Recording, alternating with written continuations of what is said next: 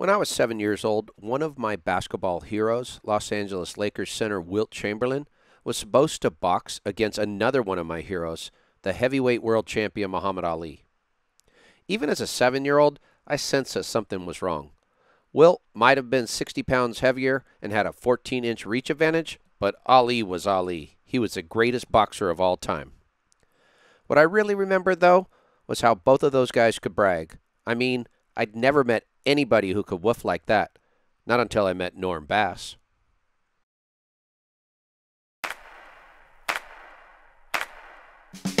I'm a Venice, California born, Los Angeles based sports fan. One that has played, coached, announced, and promoted sports my whole life. My love affair with sports started in my own backyard and has led me to this podcast. Thanks to the support of the Amateur Athletic Union in East Bay, I'm excited to bring you Sports Stories with Denny Lennon.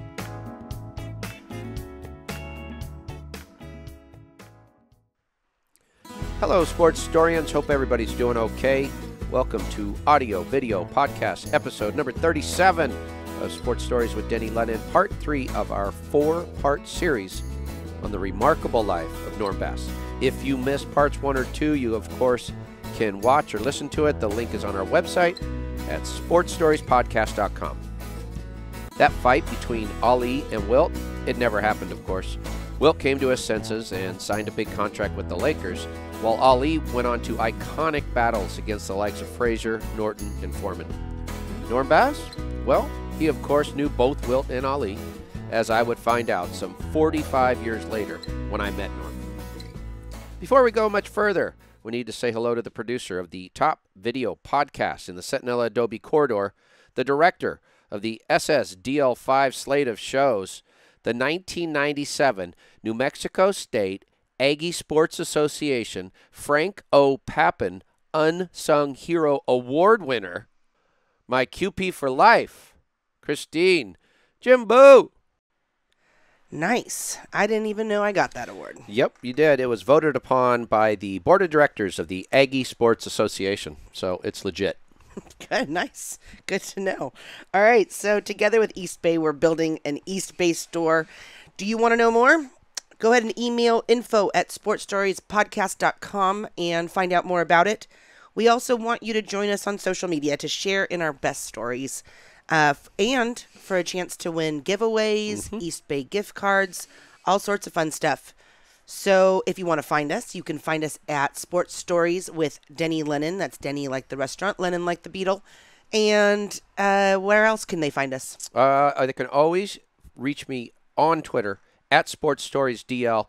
Uh, we try not only on Twitter but on Instagram and Facebook to put out clips from our show. So again, hopefully everybody's following us on social media. And you can always get to everything on the website, sportsstoriespodcast.com. There it is. Well, Norm Bass, as you no doubt have learned, can do some woofing, or what some might call boasting. Back in the 60s, he heard that this boxer, then named Cassius Clay, could do some woofing and was coming through Los Angeles, or more specifically, the St. Elmo area of LA, not far from the 10 freeway and La Brea. Cassius was looking to hang out with the infamous Black Pack, which is what Norm and his boys called themselves.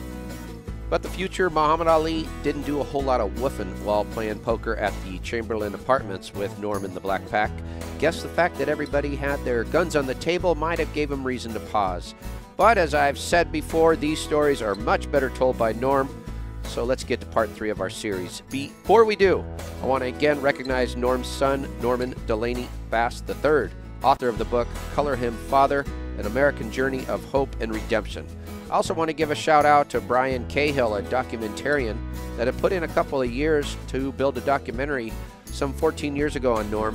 Uh, before that project was set aside, Brian recently was a guest on our Monday YouTube live show and provided some great insight. And of course, thanks go out to Gus, his family, and the staff at the coffee company in Westchester, California for allowing us to interview Norm at his favorite restaurant.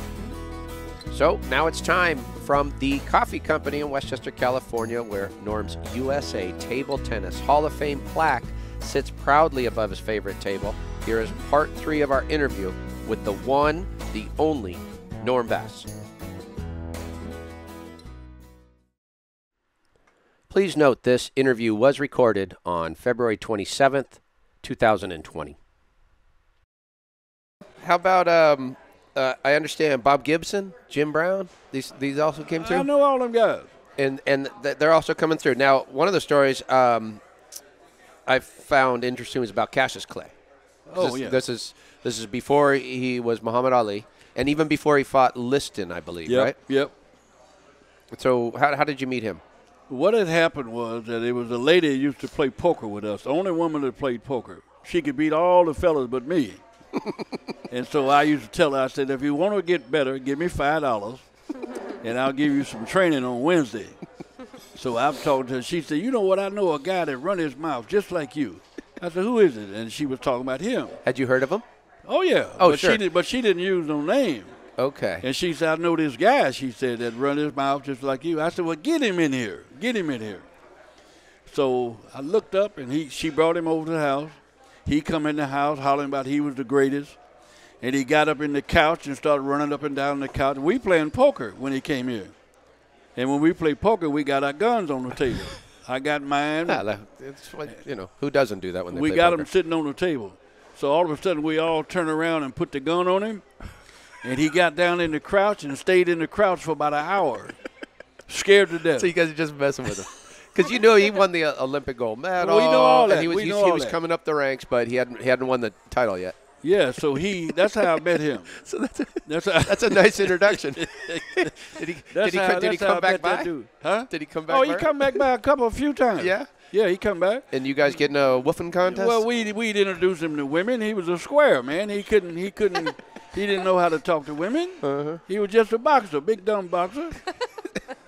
you know, he couldn't play no other sport. Really? You would think a boxer would be pretty agile, pretty uh, athletic. We take him to the basketball court. He's dribbling with both hands. I've never heard Muhammad Ali made fun of before. But he didn't have great. any, any any any coordination, nothing. Oh, wow. So this is uh, about a year, I guess, before he beats Liston for the title. So he's got to beat Patterson to get to Liston, I think, or something. Uh, I don't remember. no, forget. I don't know if he did or not. How Yeah. that went, but I know he Yeah. whipped Liston Wow. in Florida. yeah, he sure did. Yeah. but uh, So look at all these people that, are, that you're rolling rolling with. Anybody I left out that's uh, that you remember from coming through that time that was an interesting character? Well, uh, uh, Gale Sayers used Mm. to come through there. We used to laugh a lot. If he saw me right now, he would run right out the room laughing. he would start laughing. And uh, Yeah, he's, he's from Kansas, right? He played he do played you football know? in Do Kansas. you know a guy named H.B. Barnum? He's Uh, a musician.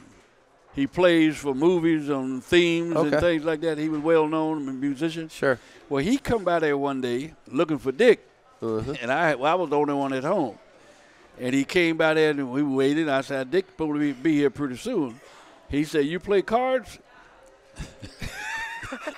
I You're like, yeah, "Mm, I dabble." We play, so he wanted to play a game called Tunk Okay. and head up. And we playing for ten dollars and twenty dollars if you tunk. Uh-huh. I'm beating this guy's brains out. About five or six games in a row, I'm taking all his money.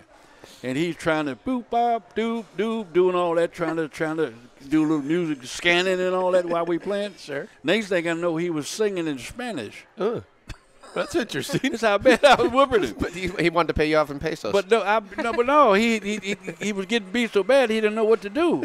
He started singing in Spanish. I said, "Dang." Um, there was um, a, a, a KIIX TV show that was going on in these days. Now, was that like a local television station? Is that why a lot of these um, the athletes would come in and they would go on that show? Do you remember this at all? I, I read somewhere your, your son was writing about. It seemed like that was might have been a local like um, broadcasting show, like something like KDOC or something like that. But Well, I know that my brother and Bill Russell and a guy named Purvis Atkins was the first black dudes to have a sports show on television. yeah, that's that. I They think they that's had that they had they they was on that show. Wow. Uh, in the background was Quincy Quincy Jones and all that, but the thing folded. But they was the first one to have a show like that.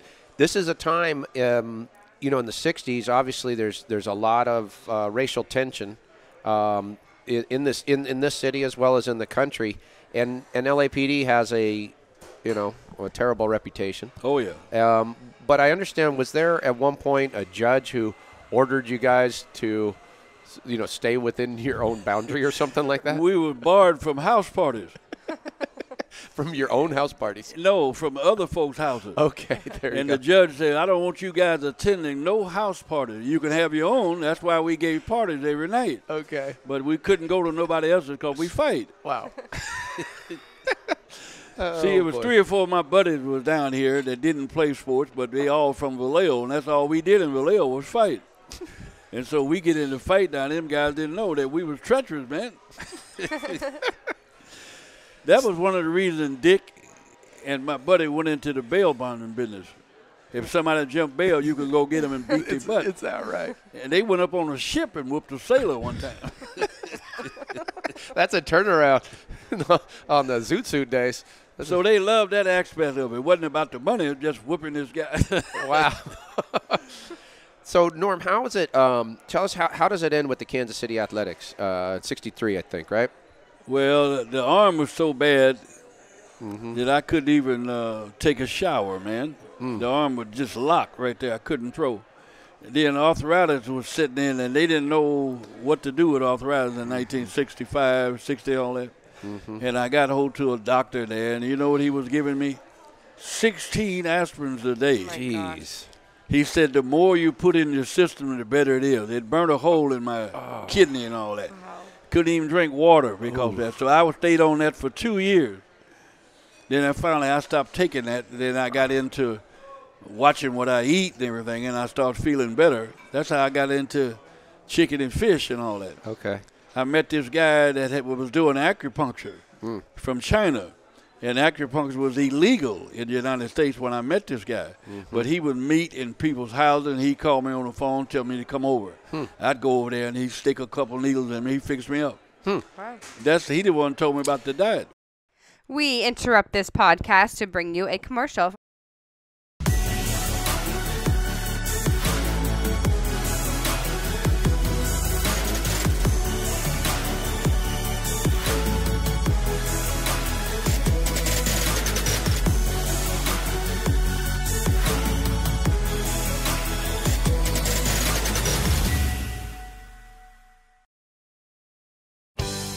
Sports Stories with Denny Lennon aims to bring its subscribers interesting, unique, and uplifting stories. You can find us at sportstoriespodcast.com. We drop audio, video podcasts every Thursday and go live at 5 on YouTube four nights a week. That's Sports Stories with Denny Lennon. And now back to our interview. So did the did the Kansas City Athletics send you back to El Paso? Is that how that happened? Well, they, they they they they sent me to El Paso. Now I pitched one game in that league. I mm-hmm. win, but I can't can't even eat. My arm locked. Hmm. Couldn't throw. Hmm. And when I couldn't throw, I said, well, maybe I can still play football. okay. So That's how mo- I got. That's most, how I got mo- most people in in the athletic world get run out of one sport. They don't say, "Oh, I know, I could go play in the NFL." Well, that's, that's, that's what, that's what I that. thought. And I and I told Dick, I said, Dick, I'm gonna I'm gonna go out here and try to see can I play football here. So Dick and Ollie Matson and all them guys would take me to the field and run me through exercise. They said the biggest thing that's going to be a problem. I hadn't played football in seven years. Mm-hmm. Was your neck? Your neck might break because you haven't been hitting nobody or nothing. Mm-hmm. So they ran me through a bunch of drills. They got me ready. They worked me out and all that. Mm-hmm. And the Rams wanted me to come out there for them. So Dick Bass, Ollie Matson. Matson was a USF guy, right? I think he I think he was a he was a great player. San Francisco, yeah. Yeah, he was terrific. Yeah, Uh, he was in the Hall of Fame. yeah, Ollie Wow. Matson ran in the Olympics. yeah. He was he was yeah. That's right. He, was super he, fat. He, was- he was me he and was- he Dick's was- idol. He, was, our idol. He was part of that USF Dons team that went undefeated. no, that was Bill Russell. No, no, no. I mean in football. Oh, Oh, football, yeah. yeah, Ollie Did Matson, you yeah. know they were supposed to play in the Cotton Bowl? Yeah, and then they wouldn't. And they wouldn't play because he right. was black? Mm-hmm. yeah, So the whole team didn't play. yeah. And that's why they finished nine and zero, and they've held Yeah. that throughout. The, they stand tall in the in the It annals was, it was uh, Ollie Matson. He was Yeah. tough. Wow. So they were running you through drills, getting you ready. And they got me ready. And I didn't really know what kind of condition I would be in in the first place. I hadn't played football in a while. So Denver one of the coaches down there used to be at COP. He heard about I was going to try to play football, and they offered me a couple of grand and some shoes. I said, well, let me go to Denver. So I went to Denver on that. When I got there, they had 90 guys in the camp, 90, 90. and they only kept 34. And, and and you went. This is in Fort Collins, I think, or something for training. I mean, you're mile high. We in That's gotta- Boulder, Colorado, Colorado, where Okay. the camp was in Boulder at the college out there. Wow, But that's got a. not only did I, I hadn't played in six or seven years now. I still had on high top shoes and all that. Did never seen a kicking shoe. Oh, Never heard of that. They had invented a kicking shoe. okay. And I didn't even know whether I could kick no more or nothing. I wasn't even interested. I was trying to make the team. So the first scrimmage they had there, I made the team. The first scrimmage, First scrimmage, you make the team. make the team. The guy that was all leg was coming around the corner, and I jacked him up and dropped, stopped him for a loss. And the man said, "That's just the guy we're looking for." I made the team, and out of 34 guys, I make the starting team. Wow. The first Wow. league game was against the Jets. I'm kicking off. Okay. You know how I got the job? you're kicking off in an NFL football game about uh, less than a year after you got run out of Major League Baseball. Yeah. But what had happened was that uh, I had a sprained ankle one day, and when you have a sprained ankle, they put you on a field. They had two practice fields, football fields, Okay. and I'm over here with the ball boy, and I said, "Hey man, you got a tee in there, kick it, you know where you put the ball on the tee." Mm-hmm. And he said, "Yeah." I said, "Get that out. Let me try something." I put it down, and I limped up to the ball with a sprained ankle, and I kicked it and went about 20 yards. I said, "Baby, I wonder can I still do this?" I was just curious. So I kicked another one, went about 30. And there's scrimmages going on over here. Mm-hmm. So I got back this time and I rooted one and went off the field, over the goalpost, upside the wall, and they stopped the, the scrimmage. And the coach said, "Who in the hell kicked that ball?" I'm talking stuff, not me. I'm like- the one did it. You're like Forrest Gump running And they said, football uh, practice at Alabama. Somebody get him a kicking shoe. I said, "Give me some tennis shoes, man." and I was the kicker, wow. Okay, so your first game against the Jets. just the Jets. Yeah. How'd that and go? I kicked off. you kicked off. And all them guys was teasing me about coming to base football, go back to baseball on the sideline and all that. Mm-hmm. But I can handle it. I said, don't let me catch you on the field out there nowhere. How'd that game go? Oh, we got beat. Yeah. We got beat.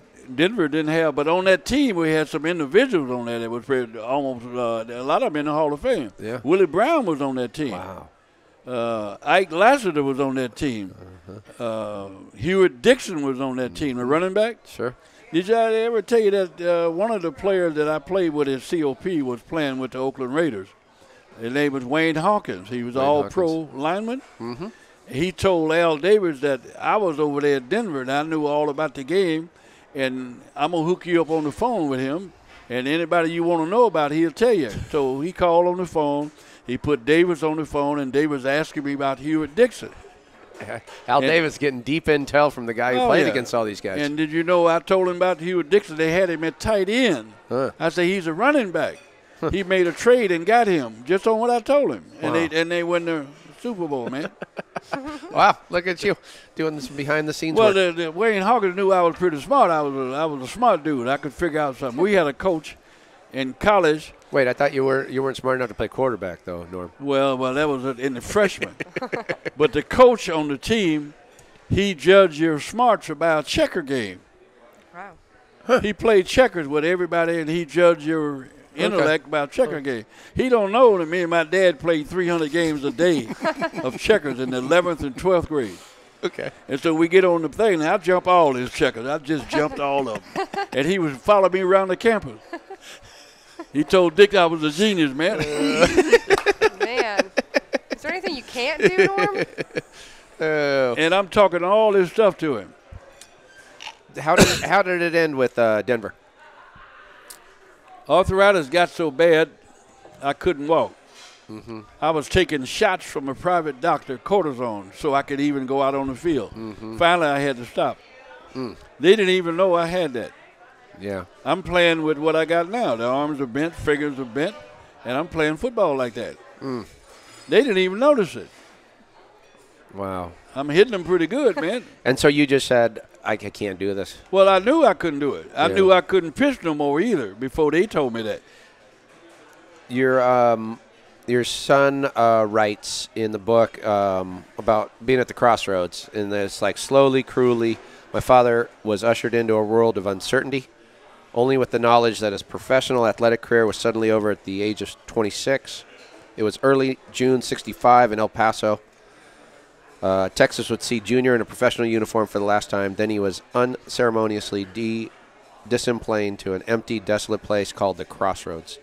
Sports world he so desperately yearned to be part of glided across a big stage without him. Your son's a good rider, by the way. I didn't, I didn't know what to do at that point. All I knew was sports. Yeah, And then suddenly that was taken away. right. 15 years I was bitter. Hmm. Not at the game, but because I couldn't play no more. I was all pissed off. Mm-hmm. And one day I was taking some kids to the park, and I looked in the window and there's a guy was playing ping pong, table tennis. Mm-hmm. And he was playing, this guy was about 40, and he was beating the little boy about 12, just beating him, just beating him up. and I didn't like that. I went around in there and I said, man, let me play the winner. And I took the house paddle and I beat this guy. And he said, "Hey, man, you're pretty good." He said, uh, "We play down here on Saturday and at this club, and they said you need to come down there with us." So I, that's how I started. So that's how you started. Now, that was before that that you were finally diagnosed appropriately with rheumatoid arthritis. Is that correct? Yep. And um, one of the things I found so interesting is um, so you're diagnosed with rheumatoid arthritis of the most of the most um, severe type, but you your mind starts racing backwards, and you can remember this time when you were playing pickup basketball with Robert Kerlan. Who, right? Is that is that his name, or or you were Dr. Kerlan. yeah, and so it says uh, your son writes uh, perhaps the most frightening recollection he surprised himself with was when in 1960 Yeah. with Dr. Robert Kerlan. Um, he, he- my father loved to play basketball at Queen Anne Park, so he goes up and to Dr. Kerlan and you showed him your right pinky that you had injured during a recent pickup game of basketball, and Dr. Kerlan says, um, "I don't know about your finger, Norm, but you have severe rheumatoid arthritis. You have about five years to pitch." Well, he didn't even say that. He said about two, maybe, maybe. wow, so that's He told me. He told me I was. That I, that's the best I can get out of that. He was the Rams doctor. and and you at the time went, "Oh yeah, okay." Like you just kind of you kept moving, like you, you didn't. Well, I believed him because I knew in my heart that I was deteriorating. I knew see. that I wasn't going to be able to play that that long, right, and that was taken away. right, All that was taken away. So now I'm going through this this funk here, and I didn't sure. I didn't even know what I made on the job I was working. I didn't even look at the check. Sports Stories with Denny Lennon is supported by the AAU. Find a local event and join at aausports.org. And remember, you can catch your favorite amateur sports live stream, replays, and highlights at ballertv.com. Sports Stories, along with East Bay, supports the Heroes Movement, a nonprofit that bridges the gap from mental or physical therapy to getting strong again through strength and conditioning workouts. This free service is available for any veteran of the United States Armed Forces. Visit heroesmovementusa.org for more information. Sports Stories, along with thousands of people across the country, also supports the My Stuff Bags Foundation, a nonprofit that provides traumatized children with new belongings and new hope. Learn more at mystuffbags.org. Sports Stories with Denny Lennon is a production of Sports Stories Inc. and is available on Apple Podcasts and YouTube or wherever you listen and watch. Don't forget to subscribe, rate, and give us a review. It really helps spread the word. You can find all our social media links, archives, and other info on our website at sportsstoriespodcast.com. Special thanks to the John R. Wooden Course and Wooden's Wisdom. Original music for Sports Stories is courtesy of Lennon Music Productions. Original images by Sienna Lennon Photography. Sports Stories is produced by Christine Jimbo and Marley Rice. Sports Stories is edited by Bob McCall. Additional staff include Ray Castro, Teresa Dolan, Jake Downey, Carlos Haro, and Buck Magic Lennon. I've been running down the road trying to loosen my load. Got sports stories on my mind. Looking for the look, it might be on Facebook. It's not hard to find sports stories with Danny. Come and watch it with me and take it easy. Come and watch on YouTube. It starts at 5 o'clock. If there's any chance to talk, it's with sports stories. See you next week. Whoa! Check it out, Buck.